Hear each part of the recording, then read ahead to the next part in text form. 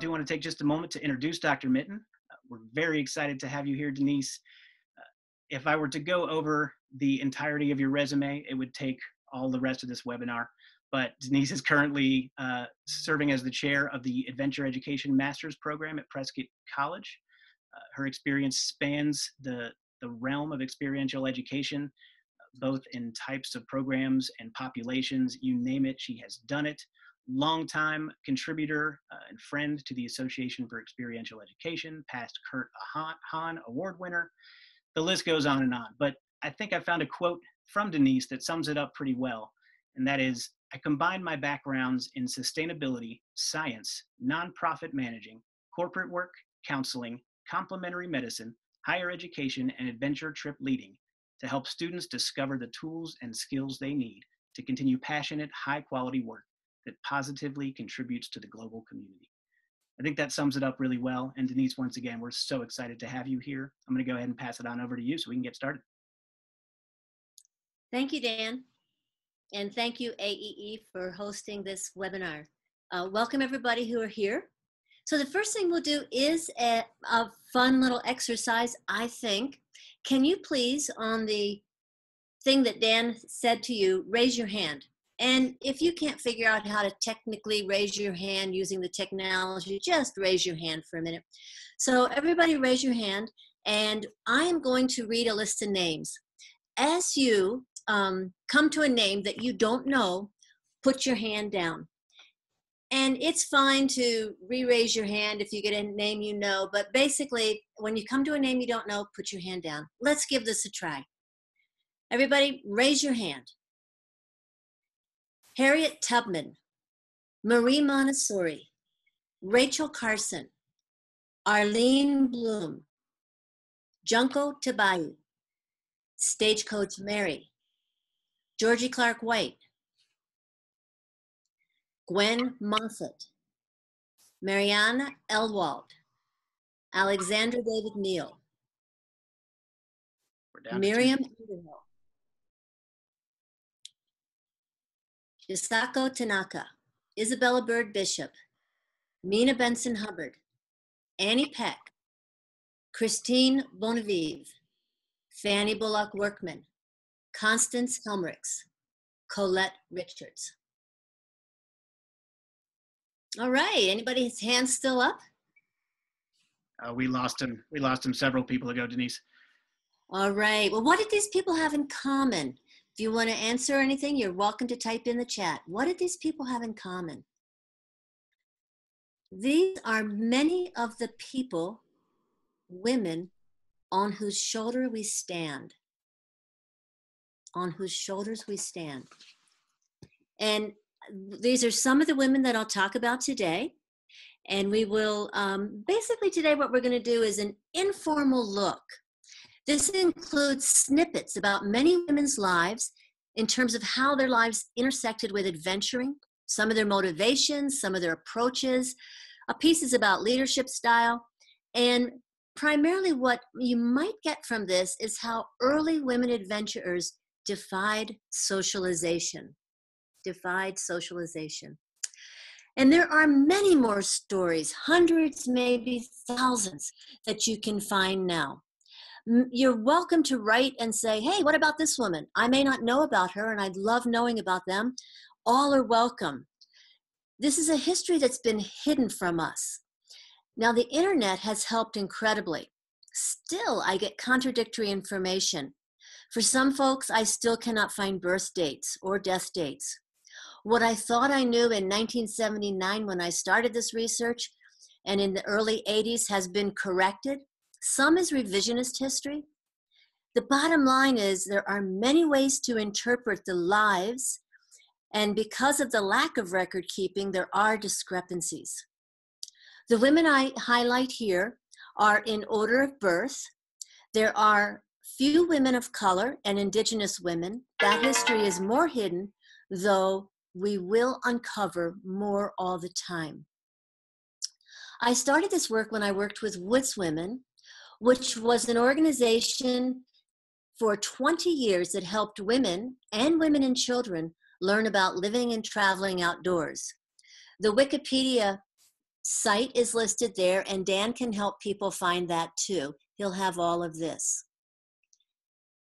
In 1808, a French maidservant, Marie or Maria Paradis, became the first woman to ascend Mount Blanc, thereby establishing her place in women's mountaineering history. Her success was followed by that of a wealthy French countess, Henriette d'Angeville, who successfully summited about 30 years later, 19, 1838. In her account of her ascent, that has been translated to English in 1992, D'Angeville urged women mountaineers to write narratives of their mountaineering, arguing it is that it was important that they write the feminine stamp or feminine experience of mountaineering. Knowing more about these women can help in culture making, and we're all involved in culture making all the time which is altering the perceptions and constructs of who is outdoors and why people are outdoors. Let's try the hand raising again. If you've traveled more than 13,000 miles outside during your outdoor career, raise your hand. Or do something, say something to the person well next to you we got we got three or four that say they've traveled that far. Great. Now, this next person that I'm going to highlight was born in 1822, and she exemplified perseverance, motivation, traveling and living skills in the outdoors for the betterment of our culture. Harriet Tubman led at least 13 groups of African Americans to freedom, traveling over 1,000 miles each trip. She started at the eastern shore of Maryland and traveled to the end of the Underground Railroad in St. Catharines, Canada. She traveled mostly at night. She traveled using the North Star or the water gourd, as it was known in the Underground Railroad language, to travel north. Her first trip, she was alone and in her early 20s, and she traveled at night to Philadelphia using off road travel. What can we learn from Harriet Tubman and her leadership styles that we don't know? Turns out that she and Susan B. Anthony were born about the same year. Again, there's discrepancy, especially with Harriet Tubman's birth. And they worked together uh, at some points in their life for women's vote and women's suffragette pieces. Isabella Bird Bishop is an English woman who got the vapors. She was actually a semi invalid at home. Her doctor prescribed travel. Her first trip was to, to the United States and Canada. Afterwards, she wrote two books, one titled My Life in the Rockies. She also traveled down the Yangtze River and, and, and probably 18 more countries. Whenever she got the vapors, she would then travel. She was a wealthy woman, so she could follow those doctors' prescriptions. In fact, on the left is her in a Manchurian dress after one of her adventures. And in that picture, she's um, in her 60s. She did several large expeditions after she was 50, and she lived into her 70s. Her books exemplify a trend that is evident in other women's writings. Women don't typically picture themselves successfully on the top of the mountains, but rather one step from disaster. In this picture up here, they're on a precipitous ledge. In this down here, it was self deprecating. I could not keep away from his hooves. This theme you'll see in more women's writing understatement, self deprecating. By the way, when she was 61 years old, she was the first woman to address the Royal Geographic Society in England. A quote of hers that I like I always feel dull and inactive when I'm stationary. Loneliness is dreadful. When traveling, I don't feel it. That's why I can never stay anywhere. Sacagawea. Most of us have heard of Sacagawea. She either lived only until 1812 or 1884. That is the interesting part of history because kind of romanticized is that she didn't really die in 1812, but she lived longer and we just didn't know where she was. And I certainly hope that's true. She was a Lemhi Shoshone woman, and she helped, as we, most of us probably know, the Lewis and Clark expedition. She exemplified another thing that women bring to expeditions. About two months into the expedition, she gave birth to a baby who accompanied them on the expedition. She um, tended to symbolize that the expedition came in peace. And she was very excellent at establishing relationships with all the other people that they met in the way. She did not have an easy life. At 13, she was sold in a non consensual marriage to a Quebec trapper. And she was had another, you know, several other children. Some died. She apparently either died or completely disappeared in 1812. But actually, Clark, one of the expedition leaders, helped her children for the rest of their lives, which was kind of him. But she really exemplified that token of peace in their party.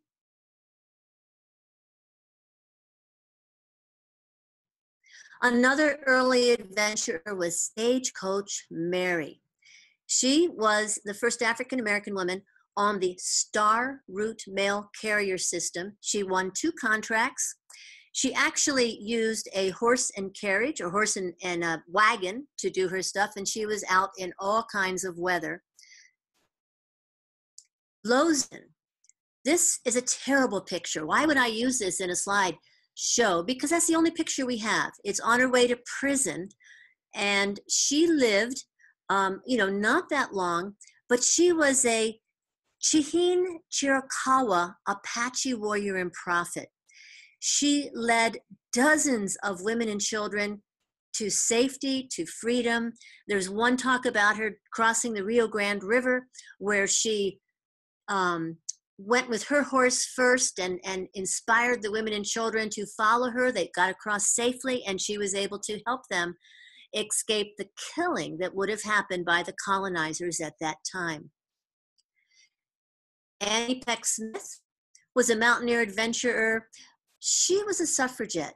And now, as we get into the early 1900s of women adventuring, you'll see that many women adventured and they said, Well, I'm not doing this just for me. I'm doing this, as Fanny Bullock Work said, to get votes for women. So here she is in the Karakoram with a placard about votes for women.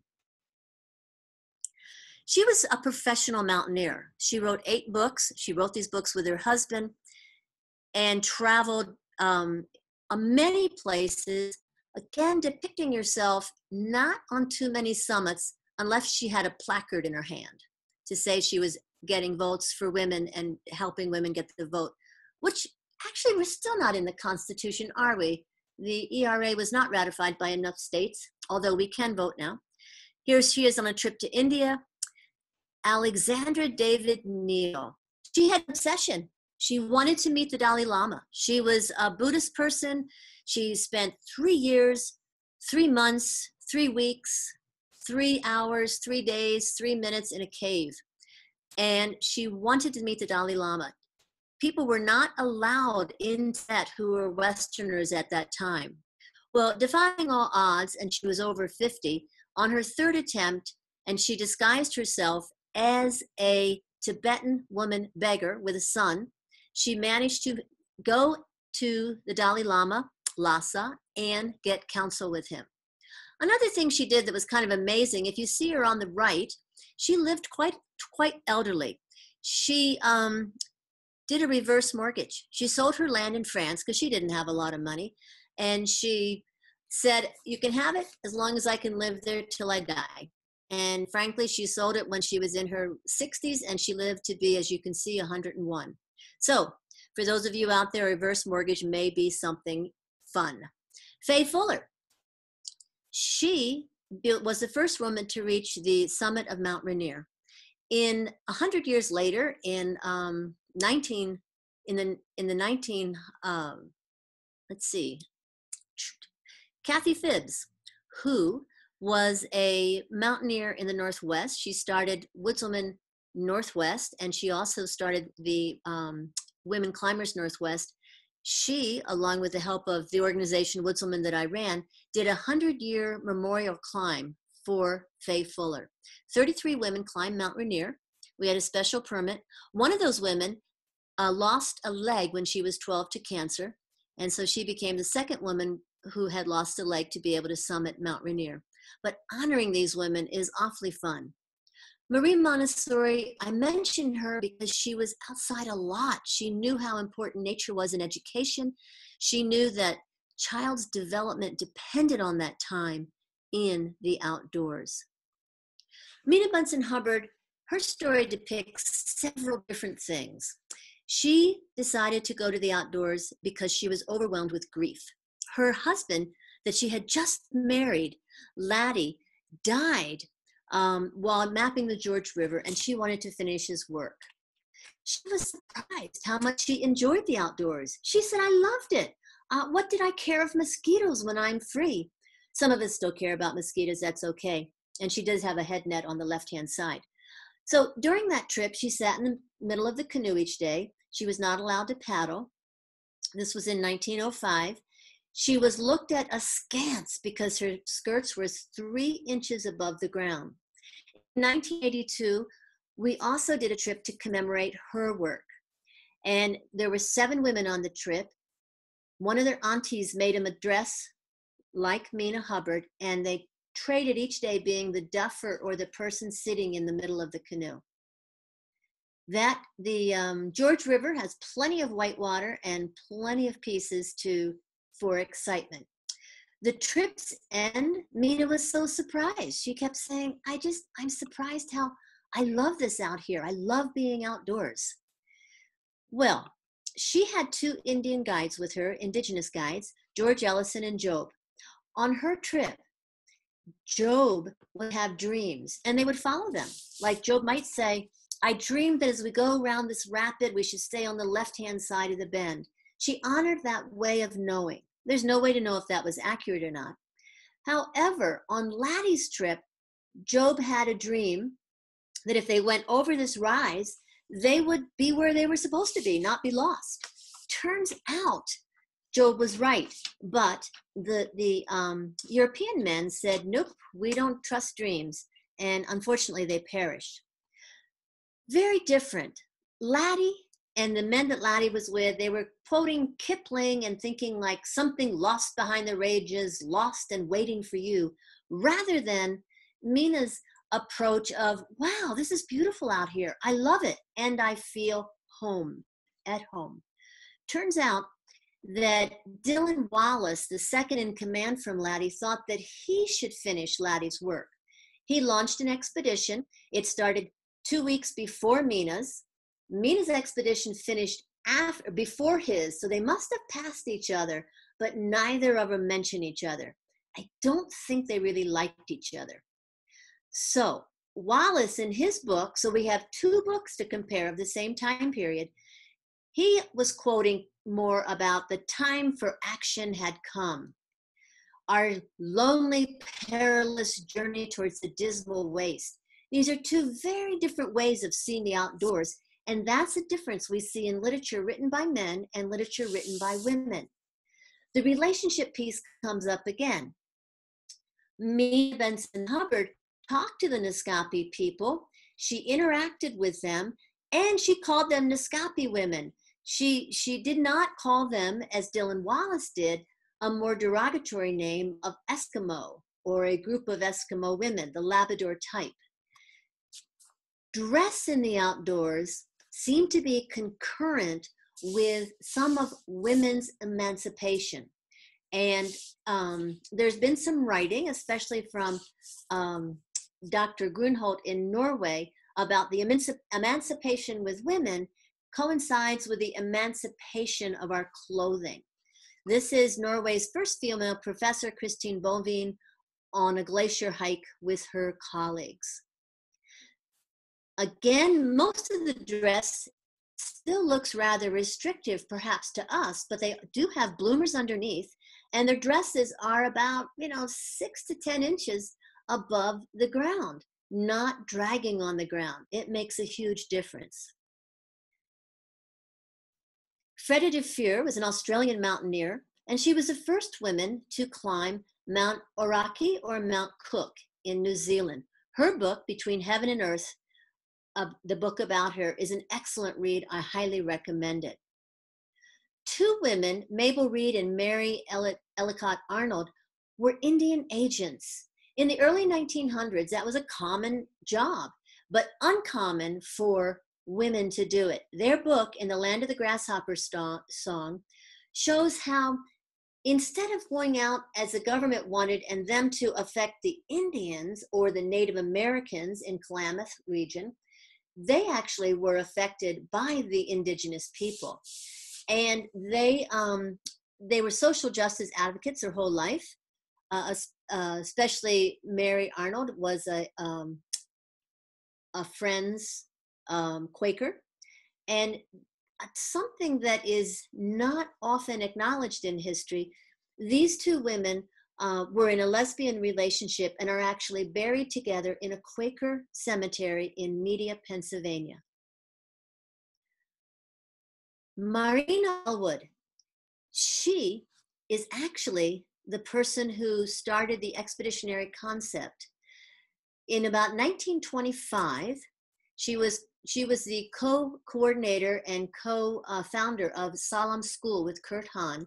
She went on an expedition and uh, first to Finland, and they had plenty of of challenges and things happen. And then she did. She was a geographer, and then she did an expedition to Greenland.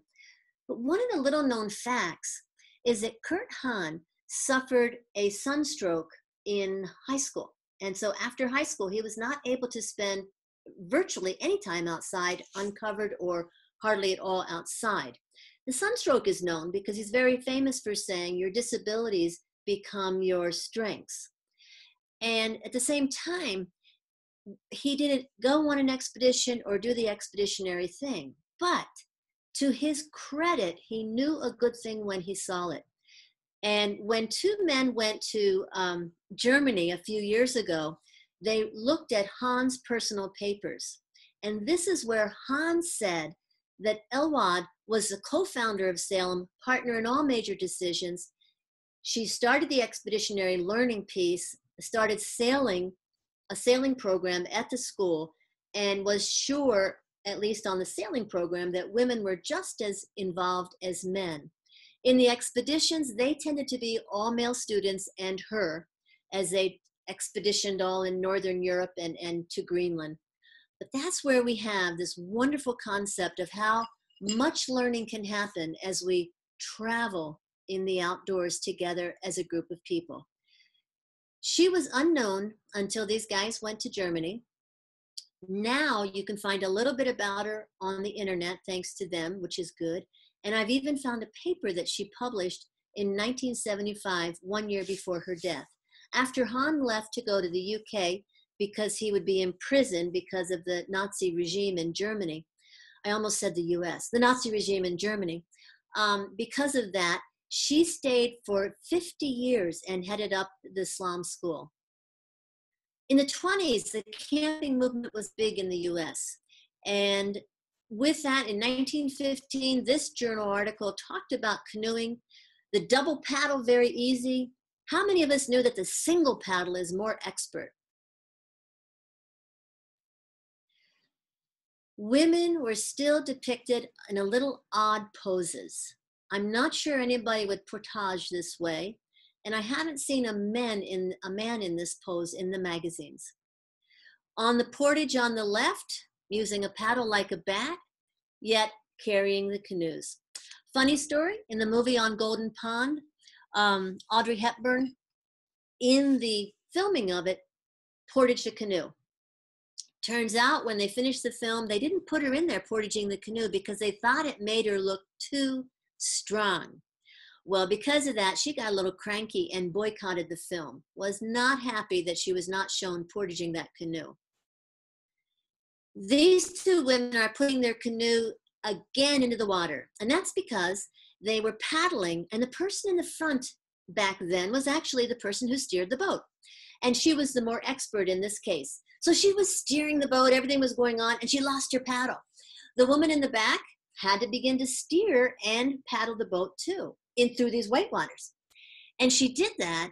And reading the account is very much like watching, oh, Katharine Hepburn again on the African Queen when she went through the waters and said, Delicious, delicious. I have never felt like that in my life.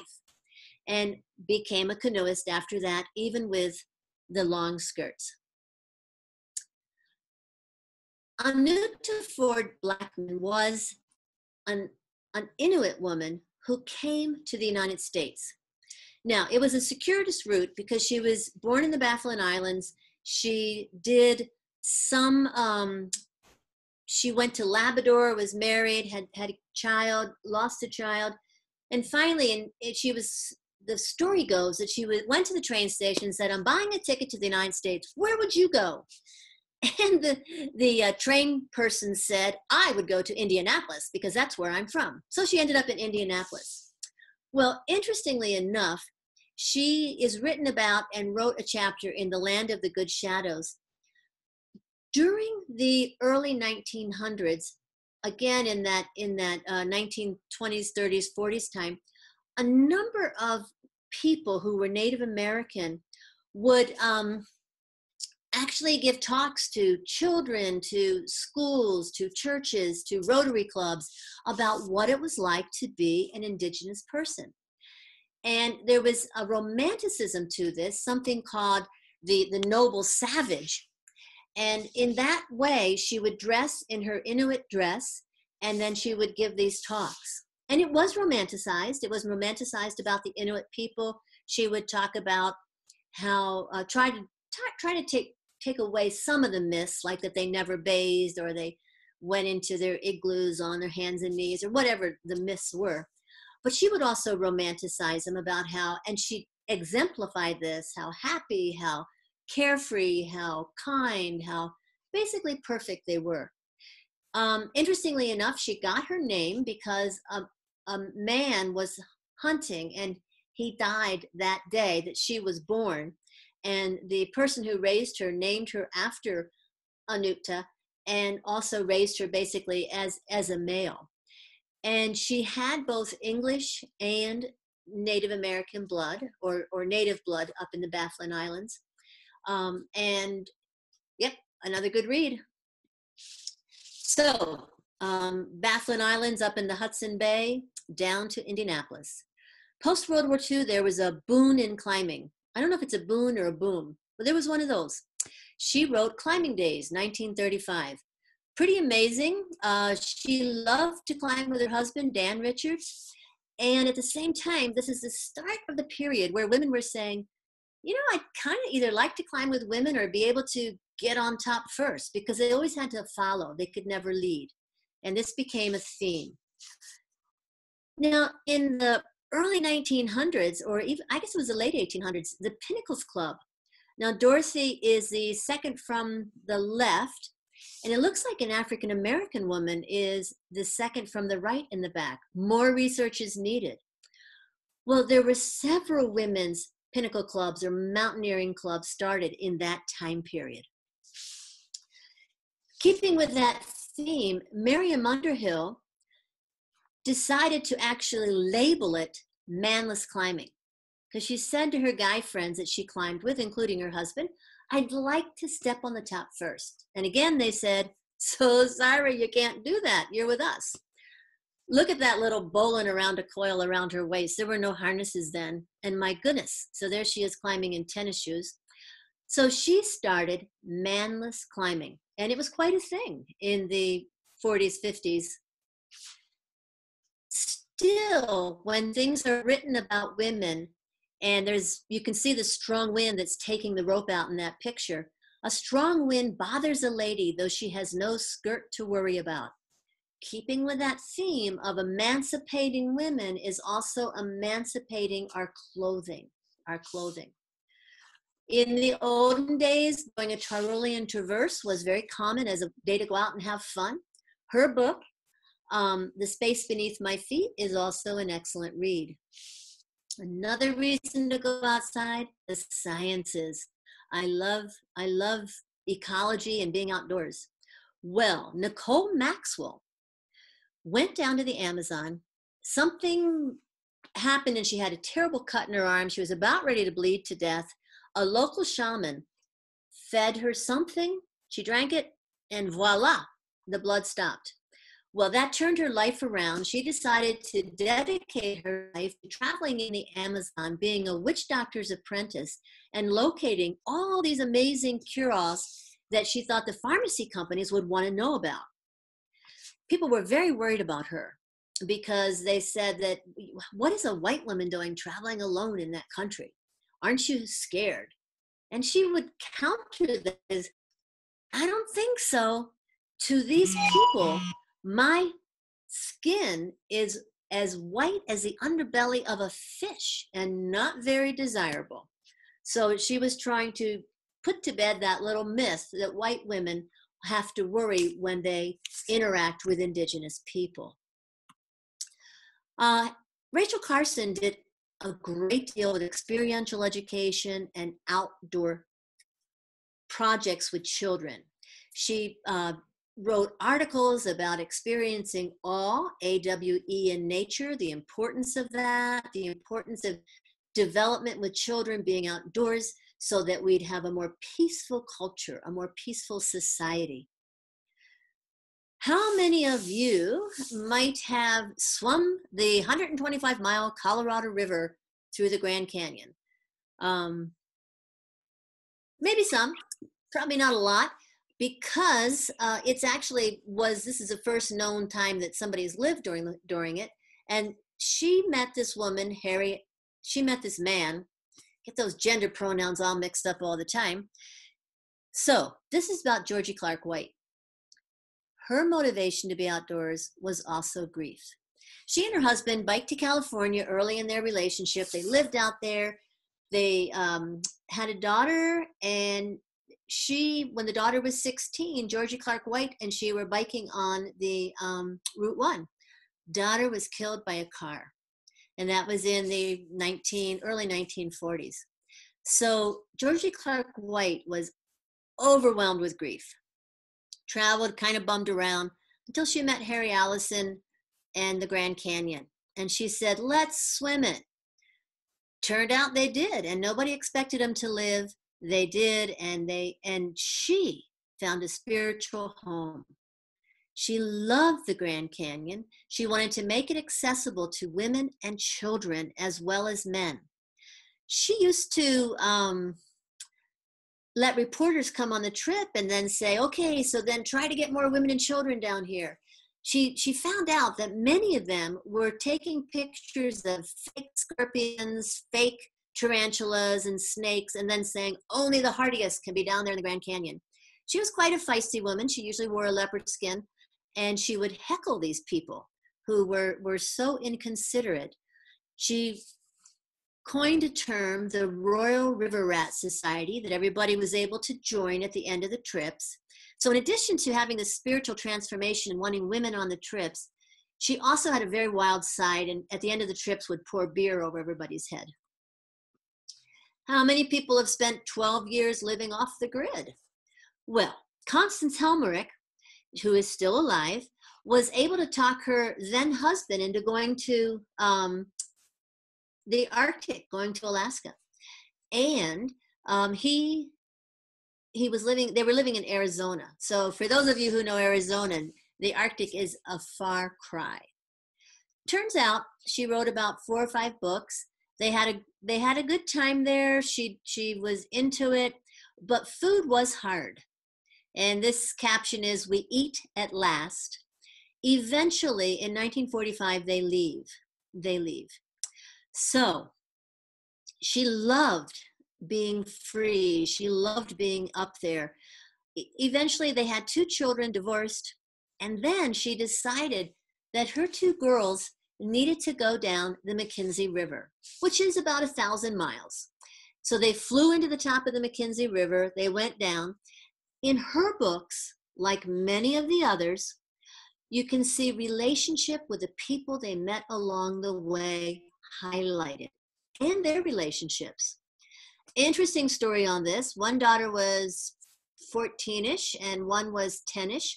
The 10 year old got appendicitis in the middle of nowhere. Anyway, mom diagnosed it. Somehow they were in a small village. They were able to get the flight plane in. Kid got out. This was even in, you know, this was in like the 50s or maybe the 60s. And kid was fine.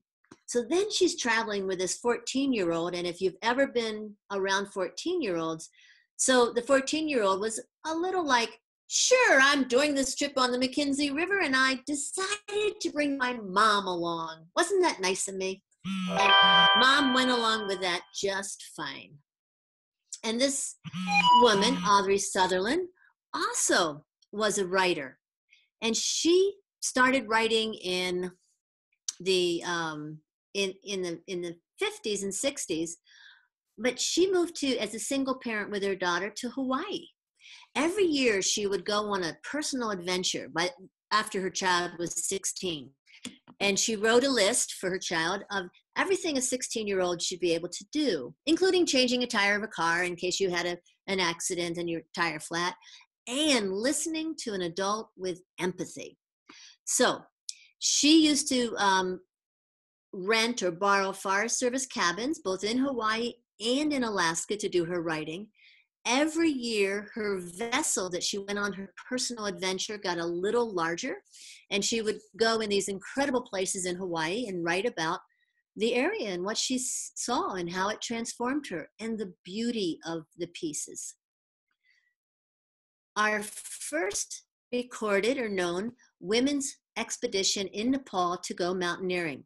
Now, this is a wonderful piece of, of um, history because Monica, Betty, and Evelyn went over there. They had a permit, but they were that permit was taken away, and they had to go to this area between Nepal and Tibet that virtually was unexplored. They did a couple things different than many. They they because they were also mapping, they had to name some things they named the summit of the 22,000 foot peak they ascent, they did the first ascent of after their head Sherpa, Gyalgen. They also spent time making, if they went over a pass that nobody had been over before, they built chortens so, as a way to honor the native or the indigenous way of doing things. a huge thing is that they were the first, but it's not like they meant to be the first. They really were having fun during this expedition. So they avoided the press as much as possible and didn't want to play up that factor that they were the first. I think that that's wonderful. I know that now we try to string enough things together to be the first, like the first all women's paddle trip down the Grand Canyon guided by women on March 14th. So I really encourage us to realize that the first doesn't really matter because as we look in history, we'll find more people who have gone before us. Very understated British understatement, looking for a glacier pass. I mean, this is in 1955. Now, I saw accounts where it was in 1953, 1954, 1955, and 1956.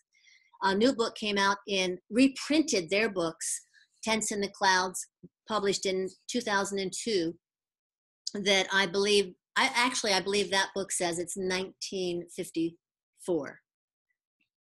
Another piece that comes out in their expedition is an understanding about group dynamics. Tend and befriend. We know now that if women throughout history did fight and flight, that the children might be left behind or the societies might have failed. And science is now understanding that women might not do tend and befriend as much as as um, they don't do fight and flight, but they might do tend and befriend more. And they understood that that's why they were part of their indigenous people's uh, culture a little bit. They had two tents every third night because they would rotate. A, a person would get time alone in their alone tent. On the left, one thing they decided to do was to, as they said, splurge. And they named a glacier called the Ladies Glacier. So that they did name after themselves. Interestingly enough, now one of them was a doctor, one a journalist, and one a teacher. In 2002, there was a expedition, art expedition in Scotland about their trip, and they called them three housewives. I don't know how that happened. Gwen Moffat was the first woman certified climbing guide in 1953 in Wales, and she actually, as I start reading more, she did a, a short training with um, Evelyn, Monica, and Betty because they wanted to um, get better on their rope skills before they before they went to Nepal. And so that was interesting that she was a trainer. Well, Gwen Moffat had quite a raucous history. She joined the military, then she went AWOL because really what she wanted to do was climb. Along the way, she was married and divorced a couple of times. She sent ch- her child back to her mom and then wrote romance and detective novels using a woman climbing guy as a heroine so her mom could sell these and feed the kid. No picture here. Phyllis Ford was an outdoor educator at the Oregon State University. She wrote a couple of books, one about the principles and practices of outdoor and environmental education, and the other, the very first in our long list of leadership and administration books in our fields. And we can't even find an obituary about her. Uh, she was also the, the uh, core advisor for a number of men in our field that we do read about and who have written the books after Phyllis Ford and who she trained. We found an obituary once, and then we tried to find it again and haven't been able to. But I have faith in the internet because more and more things are being found all the time. Another lost piece, Colette Richards wrote a book, Climbing Blind. She was French and she would climb. She would also cave. She said in caving, her blindness was her blindness was not a handicap. However, I can't find this book anywhere. So if anybody has it or anybody can help with that, that'd be awesome. The internet is failing me so far on that. 1975, Junko Tabei became the first woman to reach the summit of Mount Everest. She was trashed by the press because she left a two year old daughter at home. I would just like to know why. Now, the other thing about that 1995, 1975 expedition is that it was all women. Very early in her career, she started a women's climbing group in Japan to go climbing internationally. It was very hard to have integrated climbing teams at that time, and the men in Japan were not real excited to have women on their teams. She was the first woman that we have recorded to reach the seven summits. She finished all of them in 1992. This is a picture of her on Denali. Here's another short story about a about um, the kindness of women in the outdoors or just that relationship piece. Not that it wouldn't happen with other people too. So I was climbing Denali at this time uh, we were we were uh, Kathy Phibbs and I were leading a group of women, and we went up on the summit, but we got turned back with with the snow and wind, things that happen out there. The next day, Kathy kindly said, "Denise, you go first. So I took four women, and we went to the top and came back. And then Kathy spent that extra day up there, which is harder, and took four women up to the top and came back. And on her way back, Joan, who was doing this climb as her 50th birthday present to herself, said, I don't think I can go any further without a cup of tea. And Kathy was a little worried because here she was at 20,000 feet, maybe 1998 feet, you know, and, and there was no tea up there. They rounded a bend and the tent flap opened of this tent that shouldn't have even been there. And a woman said, Would you like a cup of tea? Well, Kathy said her jaw dropped and it was hard to get it back closed because it froze that way. No, but she was just so shocked. The group of five of them went in the tent, had a nice cup of tea, and went on their merry way. And that was Junko Tabei and her friend, and they were climbing up Denali that time in order to ski down. Her books have not been translated into English, which would be an awful wonderful thing to know more about. She died of stomach cancer. At the end of her life, she was still taking school children up Mount Fuji uh, three months before she passed away. And she was in the Fukushima area, which is possibly how her stomach cancer happened. And in a later part of her life, would take people walking in the woods and walking in the outdoors as a way to just relax because so many of the people in that area will die. More current people, Arlene Blum, she led the first climb on Annapurna 1 for women, but the first successful climb of any American team. And she had a rich mountaineering career. She is also a chemist. And with her, she's a PhD that she works in the university system.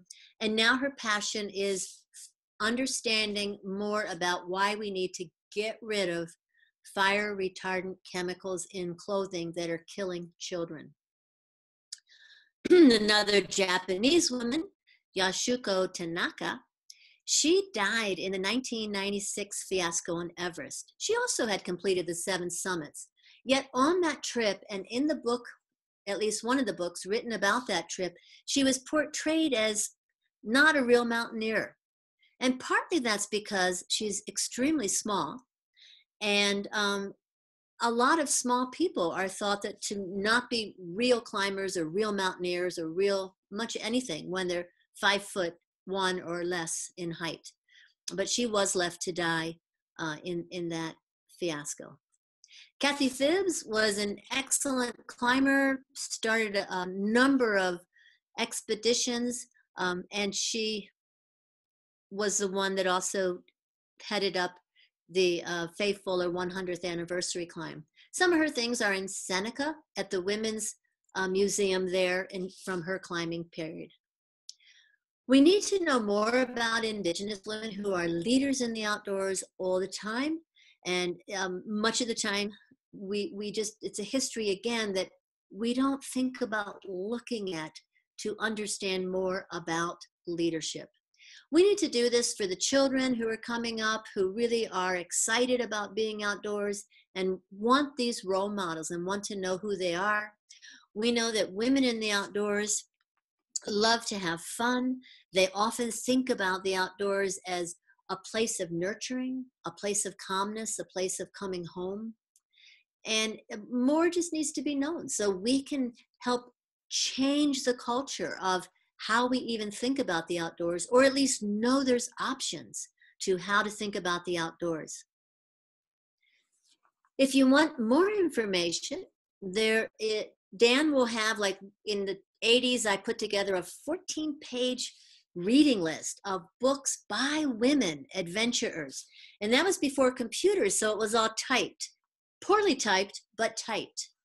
In addition, Tonya Gray and I have uh, are coming out with a, an edited book where we hear from 80 women who are in outdoor learning environments, and that's going to be the Palgrave International Handbook on Women in Outdoor Learning Environments.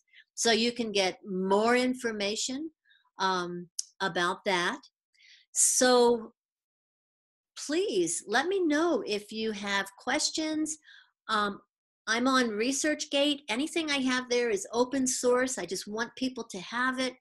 If Dan will probably make this available on links, you can have that. So anything you want, if I have it, you can have it. There was um, a question from somebody that said, female all. I wasn't sure what that was, what that was in regards to. And um, yeah, so if you have any other questions, please put them down. We've gone through this quickly to just give you a taste. I mean, it's like, here you go. Just this is only a start. There are hundreds and thousands more women out there who have done these things. Denise, I want to answer your question. That was somebody answering your question at the very beginning of what did all those people have in common? Thank you. All female. They were all female. That's right. Mm-hmm. And, and, they were all female adventurers that, yeah. We can definitely stick around to answer some questions. I do. I just want to give a little advice to all the people who just heard this amazing uh, gold mine of a presentation, right? This isn't really something you can just hear and then move on with your life and and try to remember some of this stuff. I encourage you when we send out this recording to sort of keep it in your vault.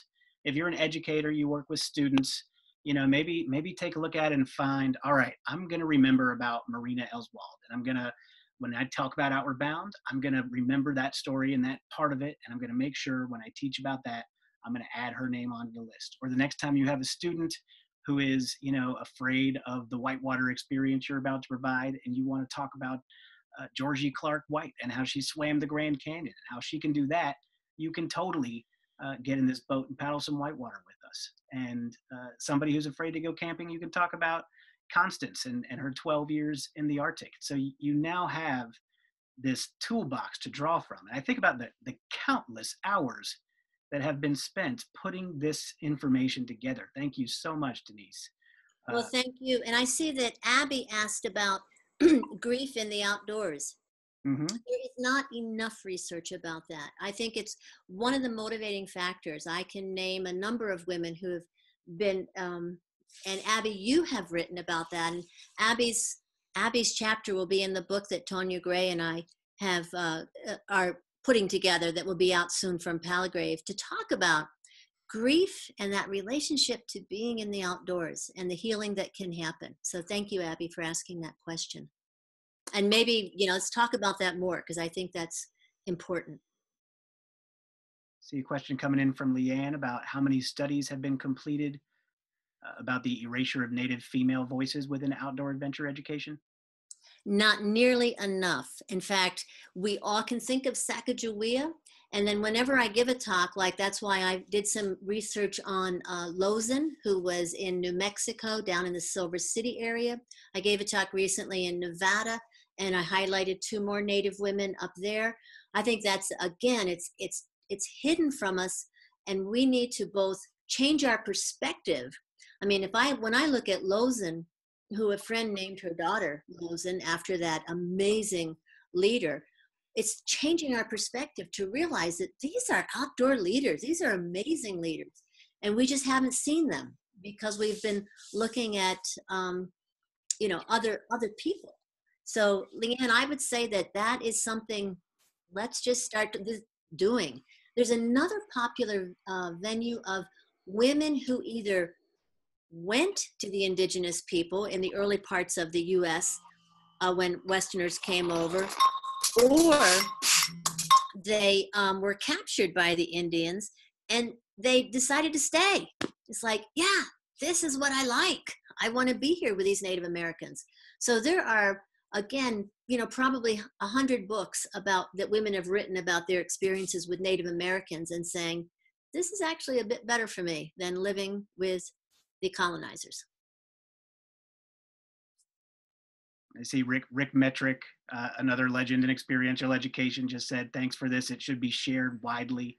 I cannot agree enough. Not just you know because we're AEE and we want to tell the world. It's this is a public service you're providing. This this I think if it gets spread out there can really help change the way that that we teach about this stuff. Uh, so important, so helpful. And folks, like I said, keep this in your vault study it, share it, use it to become a better educator to all your students. Uh, and once again, Denise, I just want to thank you from the bottom of my heart for putting this together. Uh, look forward to working with you again in the future. And I imagine we'll be seeing you in November in Orlando at our international conference, as usual. Um, and then also just want to tell the folks in the audience, if you like this webinar, AEE has a vault of resources like this. Uh, go to the website aee.org slash webinars. You can look through the whole catalog there's a little little something in there for everyone. So you'll probably find something that relates to you and the work that you do. Uh, and plenty of other ways to get involved with the organization. Go to aee.org again, and hopefully we'll see all of you at the conference or at another webinar down the road.